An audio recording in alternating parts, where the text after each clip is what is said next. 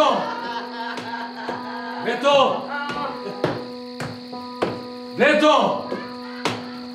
Вето! Вето моли! Повелете, Чорбаче.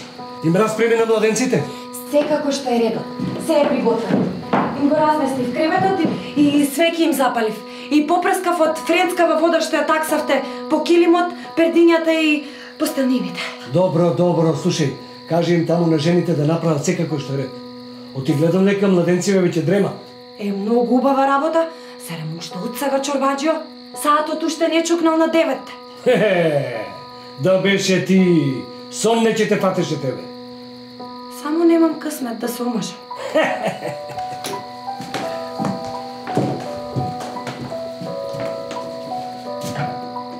Епа, сват Димо, ај нека ни е со среќа. Се направивме како што треба. И свадба, и она другото. Ајде, ајер е работа и нека ни е за многу години.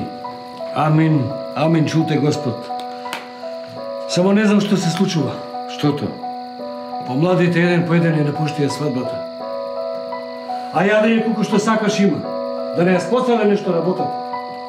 Сака... Јок сват Димо. Такво нешто нит сум слушнал, нит сум видел. Шепотеа, шепотеа и еден по еден си заминаа. Кројат нека комицка работа, да знаеш. Не че излезе нарно работа. Не знам, не знам, не знам што да ти речем. Матни време ја дојдоа, сват Димо. Нашето време помина.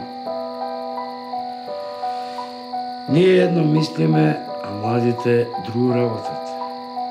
Ние и сик да е другото. Само мир да е.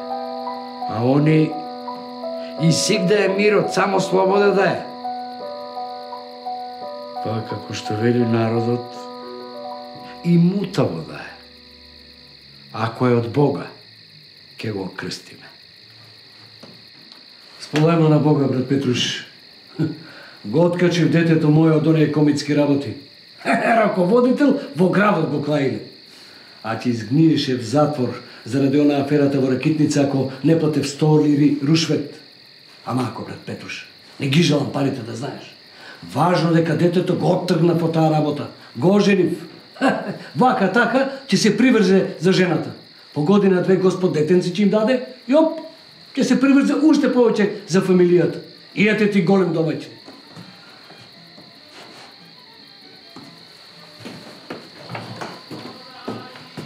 Дај Боже, дај Боже. А? Еве ги. Се собираат.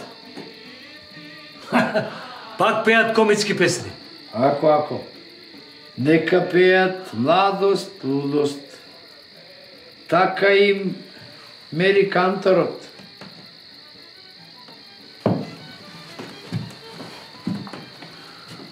Брат Петруш, ти изгледа нешто знаеш. Со Мануила мој, мојабетот многу ви оди. Мислам онака, татковски. Три керки имам. Ману ми е зет, ама го сакам како свој син. И друг пат сум ти го кажал тоа. Не земај го за опако. Нели така е редот? Брат Петруш, барем ти ми ја знаеш маката. Едвам го кантандерсав да се јокти са од онаа комицка работа. Мазата во соло му дадо да раководи, само да му се истави умот од таа работа. Да се далди се по трговија, да ги почувствува парите во своји раце. Да разбираш? Не знам. Не знам што да ти речем, сват Димо. Мамо е умен и вреден. Еден ден и од тебе и од мене позафатен ке биде. Не се сомневам јас во тоа. А за она комицкото, ти што го велиш? Народот од уста му пие. Чаршијата и младината го глави за учен човек. кефалија, чокакалија, како што се вели.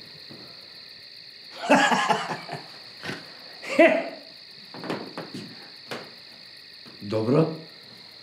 Ако нема ништо друго, јас си одам. Бај ги се задржав. А ти ја знаеш она мојата, нели?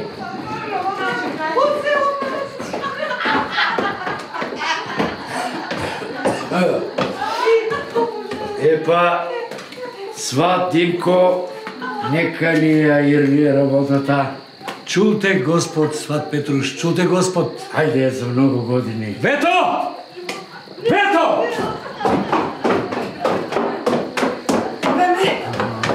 Еве ме.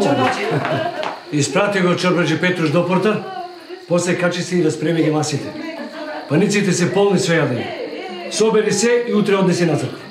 Добро чорбаче. Ајде, ајде. Епа, сполајте керко и до година на твоја глава. Ајде. Амин. Од твоја уста во Божи уши. Вето! Ферерот! Фатимко, ајде, нека ни е за многу години и нека ноки. А Ирлија нека е. Ирлија нека е.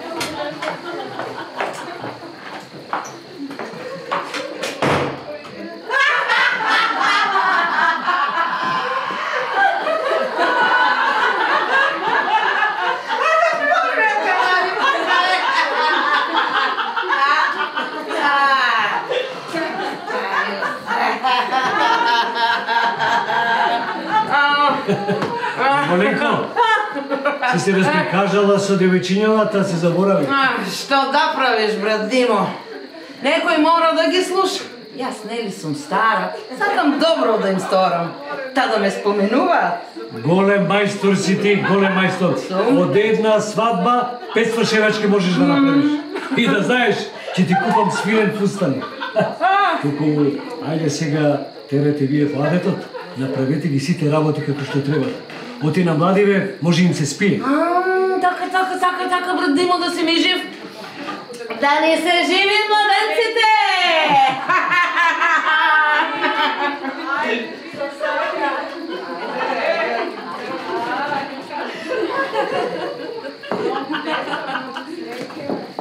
А,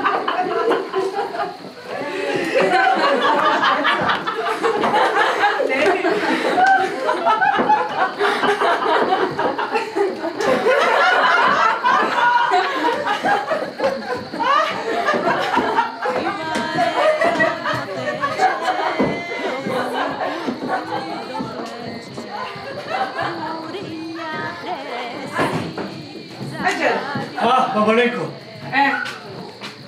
Е, е, ке го капарди се детео. И него ќе го свршуваш, а? е, да сум жива кога тоа ќе порасне и него ќе го задумам. Сега ќе го натерам да се истркала врз креветот на младенците, тамашки деца да им се раѓаат. А ти спреми бакшиш за него. А Ирлија нека е. А, чие е детео? На Мерџан Марков. На Мерџан Марков. Аха, на Мерџан. Негово е. Него?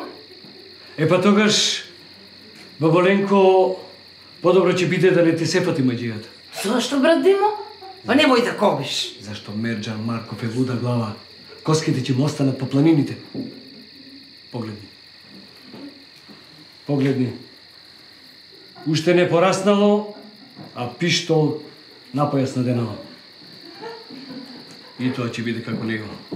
А моите внуци, еден Господ ќе знае што ќе стане од нив. Туку ајде Ирлија нека е.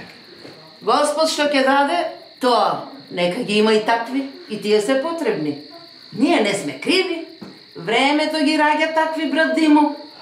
А и твојот син не остана поназад од таа работа. Само се е со време.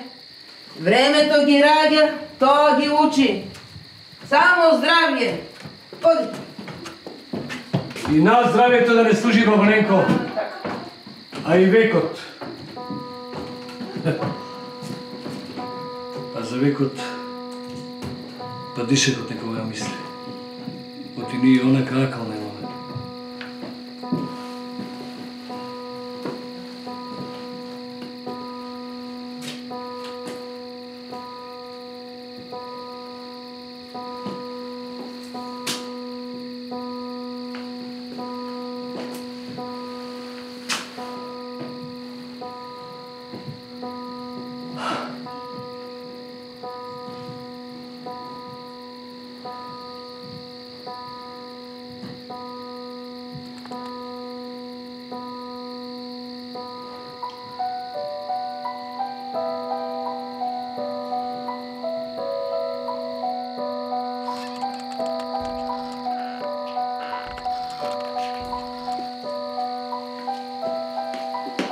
Говоренко! Ајде вике момите дома да се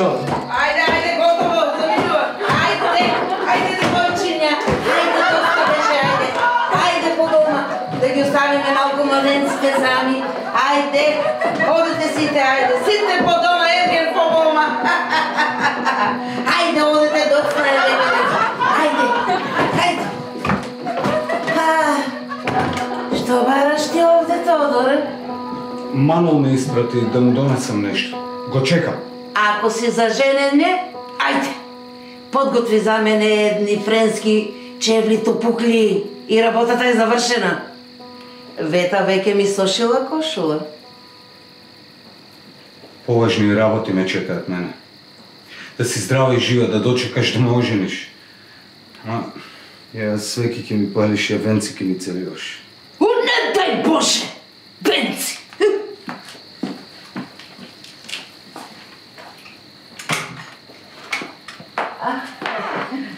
Добра ноќ, баба Добра ноќ, добра ноќ, Вета. Еј, ќе дочакам ли јас така еднаш да ми речат добра ноќ. Добра ноќ. Ти помина меракот? Што мајка бараш овде? Кого чекаш, а? Тебе. Која друга да чекам? Ау, што толку сум ти притребала? То сега ми требаш. А веќе не ми требаш. Море, море. Од една дума ја накриви чалмата. Кажи ми, што се лутиш? Не се лутам.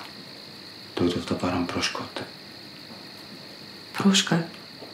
Што се ми изгрешил да ти простам? Една се скаравме.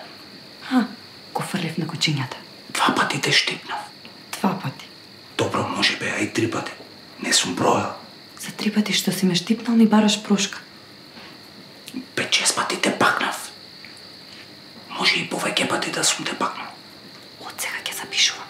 Ќе водам сметка. Се ќе ти запиша во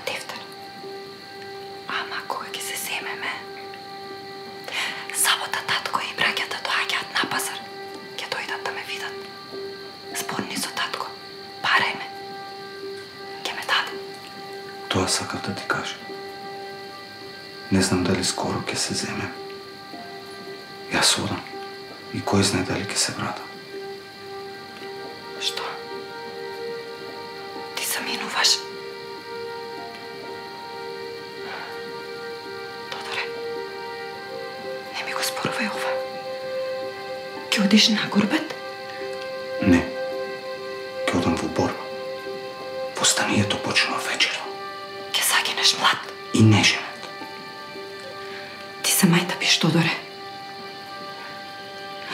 Така, не ти давам прошка.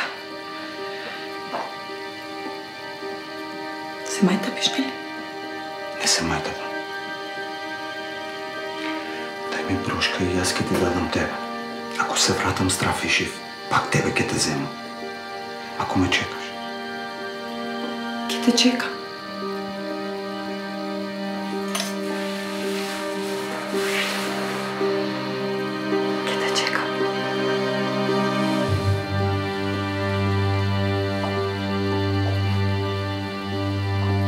Се вратиш, Тогаш ќе си најдеш друг. не зборувај така, Тодоре. Кој ќе ме земе мене? Ќе најдеш некој скриен по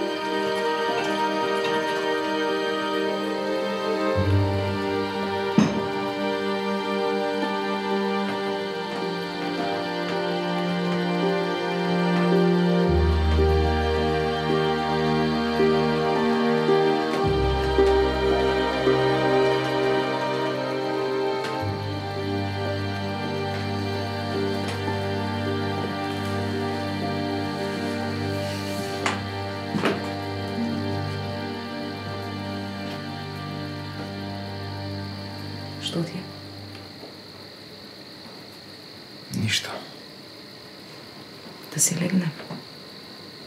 Чаршафите се постелани. Вета наросила со френска вода.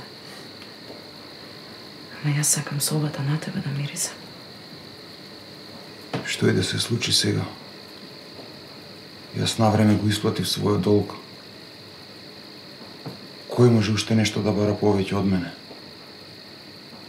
Со пушка, со збор, со умија се работев. Здравјето си го запустив. Парите од татко ми ги потрошив, не можам повеќе. Зашто зборуваш? Ништо. Остави.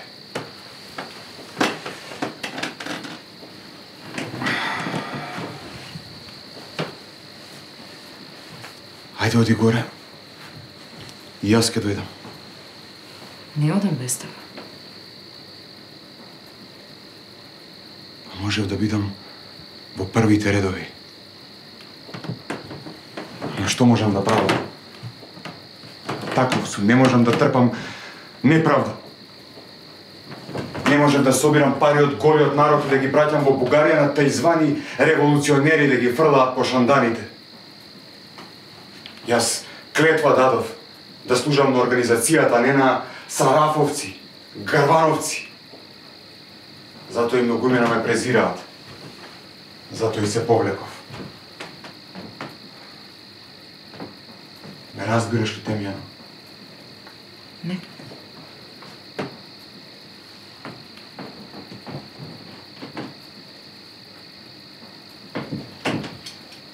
Што? Мане? Нели ми вети? нели ми вети дека ќе заборавиш се друго и ќе ме сакаш само мене? Мане? Не знам од каде се нашол мојов пиштол овде. Жими крст, жими тебе. Не ми веруваш?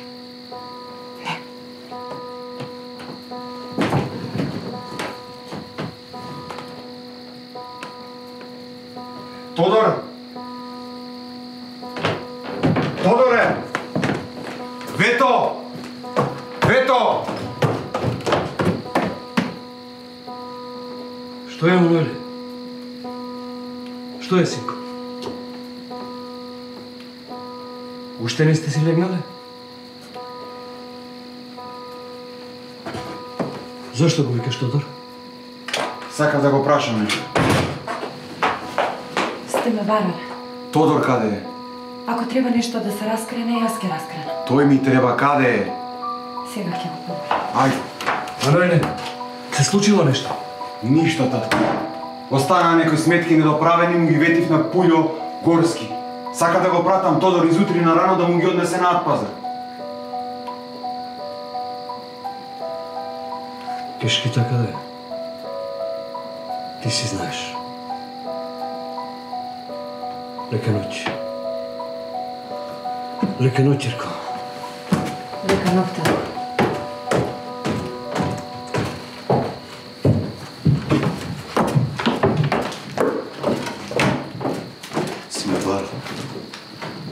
Каде вака? Дојде долго очекуваниот час.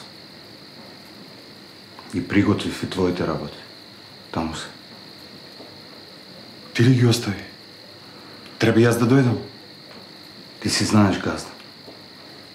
Твоја работа. За мене дојде часот да си ги соберам вересиите од душманите.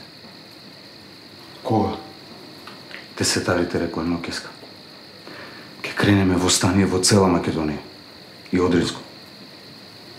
Знам. Разбрав. Ти веќе си се приготвил. Одиш? Може би повеќе не ќе се видиме. До сега ми беше газда. Од сега си ми брат.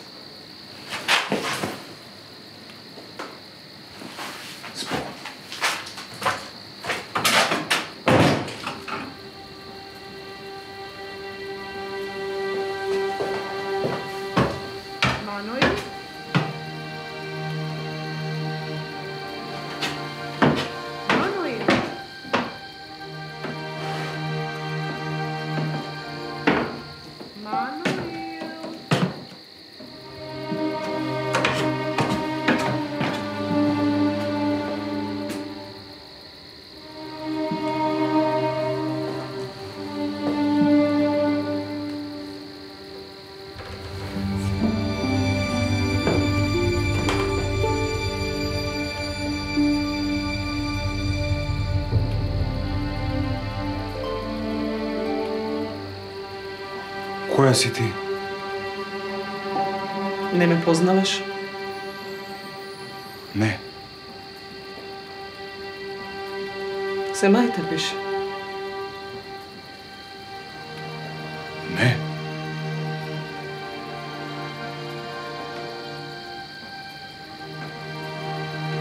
Сега се сеќаваш?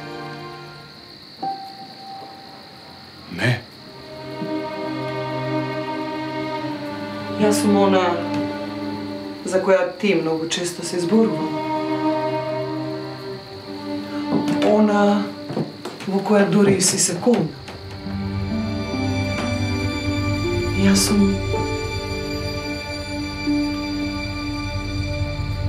На вистина не ме паметиш. Не. Не, не си сеќавам. Си можел да ме заборавиш? Мануеле, Не бидете дрска. смири се.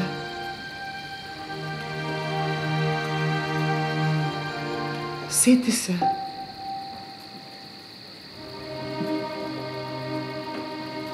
Во моментов не наоѓам за потребно да се расправам со вас.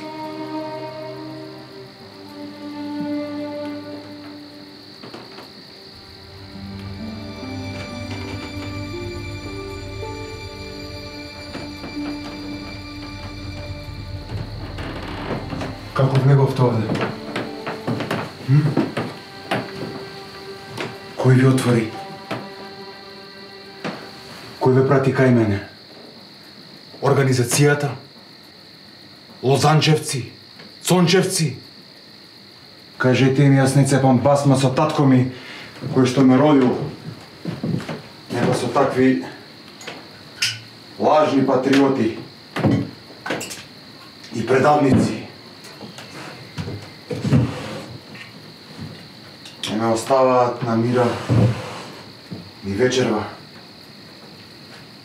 на свеченост, на свадба. Јазик.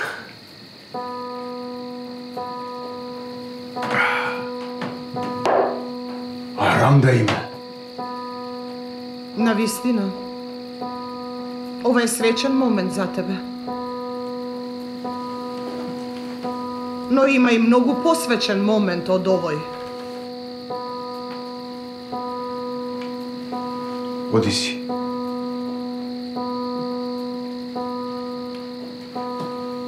Оди си пред да морам да ти isfрлам на сила.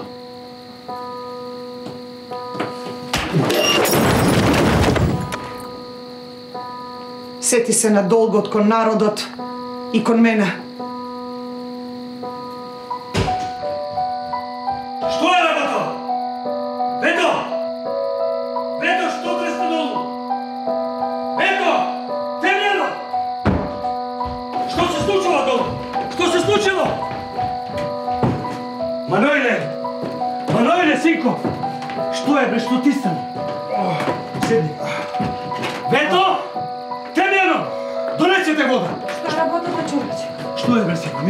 Малку ми се слоши татко, ама добро су.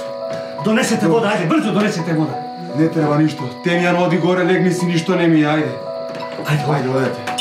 Одете, ајде, ништо не ми е, малку ми се слоши само. Татко, оди легни си, оди легни си, те молам, ништо не ми е, малку ми се слоши, ама подобро ми е сега. Ти си легнал, синко. Не бе, гали, ти си легнал. Оди легни си, ајде. Добра ноќ. Ајде, одете. Ајде, Вето. Одете.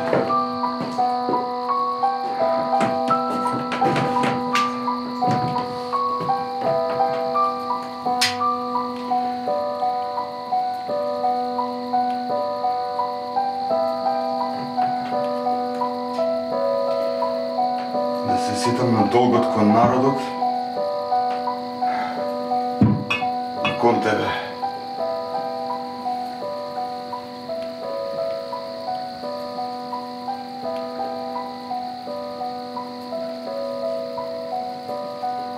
Која си ти? Зошто дојде токму вечерва?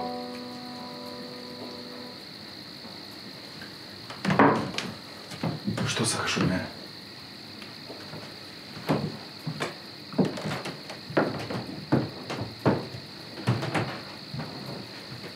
Ова, моите непријатели ми се подсмеваат. Тие го скроје ова за да ми се осветат. зашто не се здружив со нив? Со нивниот волчи апетит. Не можам да ја трпам неправдата така да им кажеш. Да им кажеш. Да им кажеш дека Мануил порача. Дека се обични кукавици. Слуги на Фердинанд. Што седат со Панкови во софиските салони. Се држат за фастаните од нивните жени и љубовници.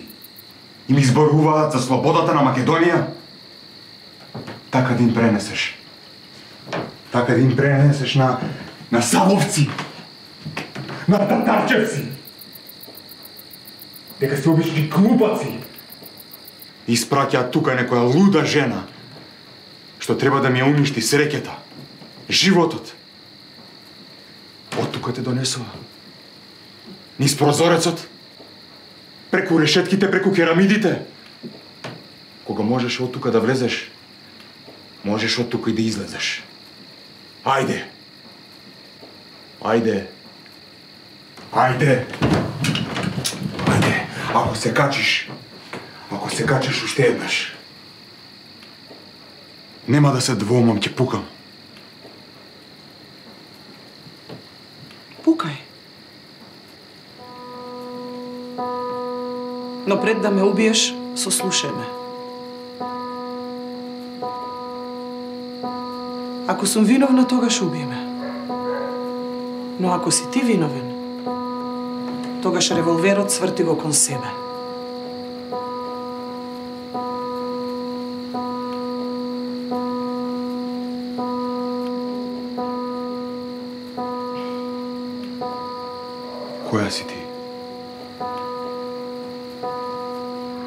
Да знаеш?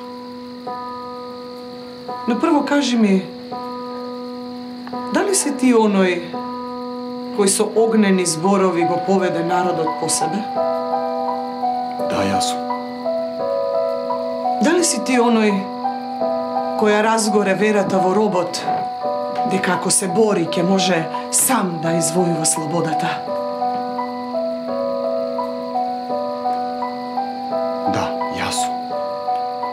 Си ти оној кој го убеди дури најсиромашниот да си ја продаде кошулата од грбот за да купи 10 куршуми и две бомби?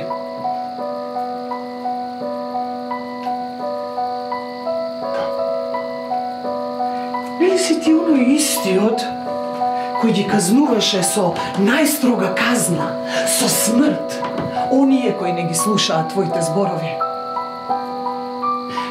Оној истиот кој се заколна, а ги заколна и другите да умираат еден за друг, се додека не изгрее сонцето на слободата над оваа робска земја? Нели си ти оној истиот кој му проповедаше на народот да излезе при првиот повик и да се бори против тиранијата? Престани!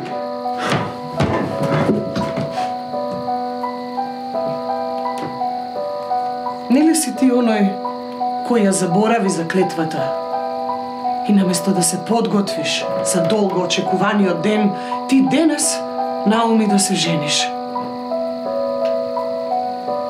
Нели си ти оној истиот Маноил кој за своите дела ја заслужи славата од својот несреќен народ? Ама денес ти си дезертер и предавник кој заслужува само презир и казна. Престани. Не сакам да те слушам. Не, ти мислиш на татко ти, на жена ти, а го забораваш твојот несреќен народ. Ти ги избра женските цицки наместо студените гради на робската земја. Сврти се кон прозорецот. Сврти се. Слушаш? Гледаш? Не, ти нит слушаш, нит гледаш. Оти твоите очи гледаат само во една жена и мислиш на уживањето од првата брачна ноќ. Ајде, оди. Оди и живеј со дамката на челото, со проклетството од Бога и од народот. Оди. Оди.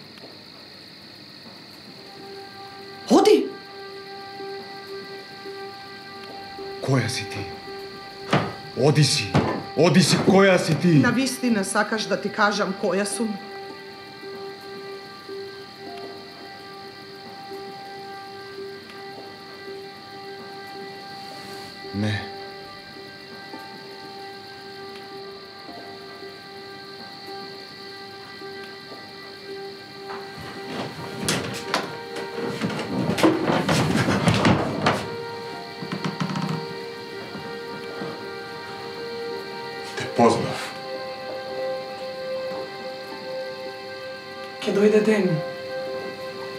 Човек сам ќе се овенча со слава и венци или со проклетство и срам.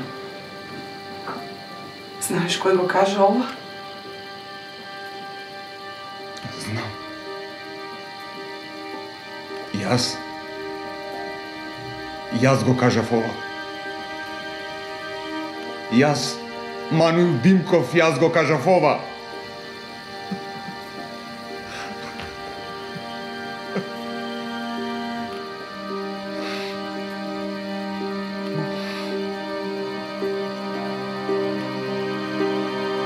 Те познав.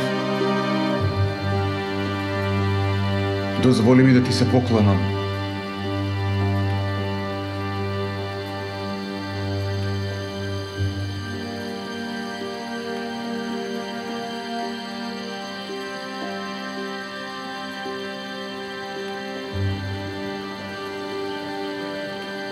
Те... Те познав. Ме слушаш? Те познав. Ти си таа за која ингилискиот, френскиот, талијанскиот народ и сите други народи леле крв. Денес е денот кога човек е се со венци и слава или со проклетство и срам. Одам.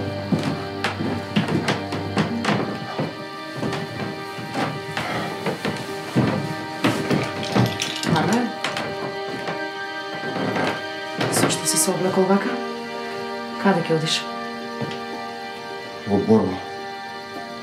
Проштевај, љубена, народниот долг ме повикува, морам да одам. Маноиле, мора да се решиш.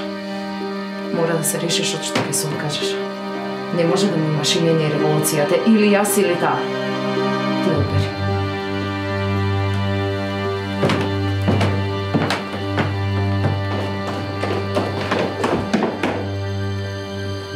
Мануле, синко? Што се случило? Каде одиш? Невесто! Невесто, ти ли го тргна таа работа? Те ми ја не оставија намира. Таа е моја жена и твоја должност е да се грижиш за неја додека се вратам. Ако умрам, нека ја простено, нека се омажи.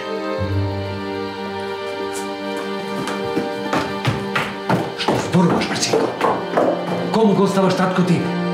Ја за тебе живеев. За тебе печелев, за тебе си грижев. Толку дека цениш имотот и трудот на татко Сум дал клетва дека ќе се борам за слободата на татковината. Ти својот долг исполни. До вчера биеше затвор. А твоите другари ти го извалка името со кава. А народот го прифати тоа. И сега ти одиш да се бориш со тие другари, за тој најве народ.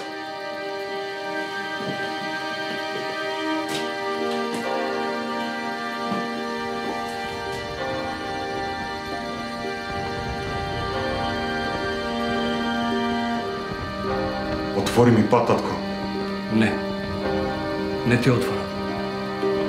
Те заколувам, татко, отвори ми пат. Отвори си го сам, синко. Татко, ќе пукам. Ако народот, синко, повеќе го цениш од мене, тогаш не чекај. Пукај!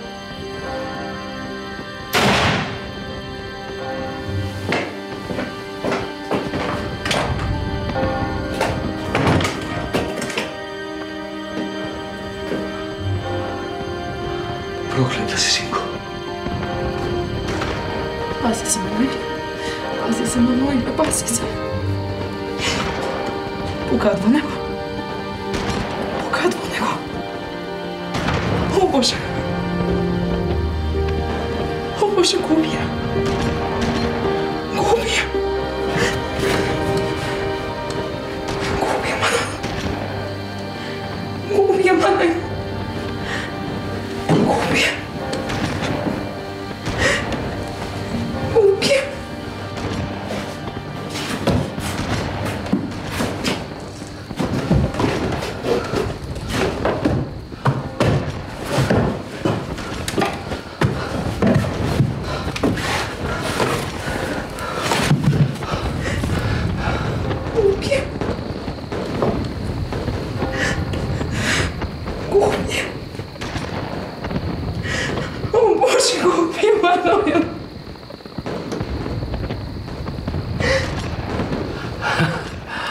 Gubil ha? Aferin.